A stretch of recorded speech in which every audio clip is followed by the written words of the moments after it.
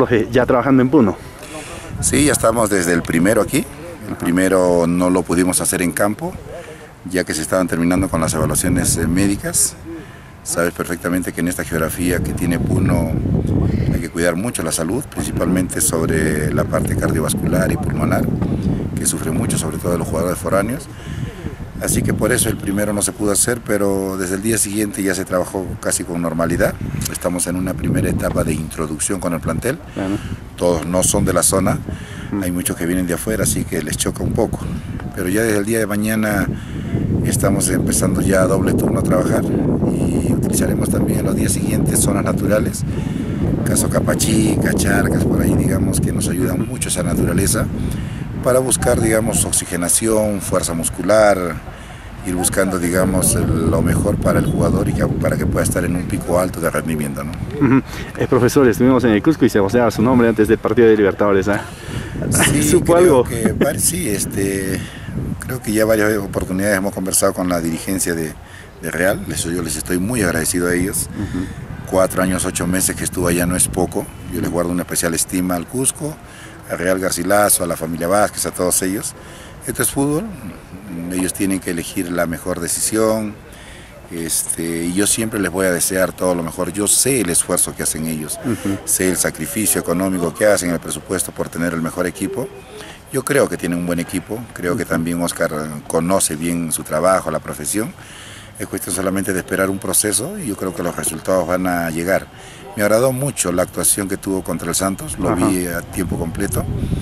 Y es difícil también a veces competir en los dos torneos, ¿no? tanto en el torneo internacional como el torneo local pero yo confío plenamente, digamos, como peruano y como hincha de Real Garcilaso de que va a cumplir en las dos, este, en los dos frentes, tanto en el campeonato local como, como el campeonato de Copa Libertadores, que, que les ha tocado una llave difícil, una llave difícil, pero no es imposible la geografía del Cusco hay que aprovechar al máximo. ¿no? Hablando de dirigencias, ¿la dirigencia acá cumpliendo con todo lo prometido, profesor? Sí, sí, tengo a los dirigentes cerca aquí. Siempre a veces algunos detalles, pequeños detalles que siempre se, se, tienen que, digamos, precisar. Y es lógico, pues es la primera vez que trabajo en Alfonso Ugarte, pero no en Puno, porque está en Juliaca y todo, así que eh, yo creo que estamos bien en este momento. Lo del plantel también creo que tenemos un grupo bastante ambicioso, con muchas ganas. Seguramente en la medida que aparezcan los partidos y las sesiones de trabajo, vamos a ir viendo qué cosas más lo que se necesita con el equipo. No olvidemos que en Copa Perú tenemos un reglamento, que ese reglamento un poco que, te limita, ¿no? Claro. Y este, en el caso de algunos jugadores que eh, van a venir a prueba de la zona, Estamos esperando que regularicen la documentación con la dirigencia para asumir algún compromiso, porque tú sabes que en una práctica, en las sesiones de trabajo, puede ser cualquier inconveniente, una lesión, alguna cosa, entonces tenemos que saber perfectamente, digamos, eh, quiénes se hacen cargo de ello, ¿no? Entonces, por eso el grupo de aspirantes que han venido, seguramente ya en los próximos días deben regularizar eso y ponerse a mostrar, digamos, todas las condiciones que tienen. Yo creo que, que ellos pueden, digamos, también estar dentro del equipo siempre y cuando tengan las condiciones, ¿no? Claro. Eh, profesor, a propósito de plantel, eh, ¿cuántos confirmados ya oficialmente en el equipo están trabajando? Tenemos 21 confirmados, queremos llegar a 27, 28 jugadores. Eh, de los cuales seguramente tres o cuatro más tendrían que ser foráneos. Y los otros completar con chicos de acá de la zona, porque la bolsa de minutos, perdón, la presencia de ellos, categoría 2000, nos obliga a tener tres en cancha en cada partido y cuando puedan ser sustituidos tienen que ser, digamos, por jugadores también de la misma categoría. ¿no? Y a propósito de ellos, ¿cuántos tenemos, profe, sub-18? Ahorita solamente están trabajando con nosotros tres, pero hay un grupo como de ocho chicos que son aspirantes yo creo que, que, pueden dar la talla, pero como te digo, ya hoy deben regularizar eso y el día de mañana ya ponerse a orden de todo el grupo, ¿no? Eh, empiezan los trabajos fuertes, como usted decía. Eh, ¿Cuándo eh, empiezan a hacer fútbol, profesor? Porque el hincha está desesperado de ver este nuevo lugar, ¿no?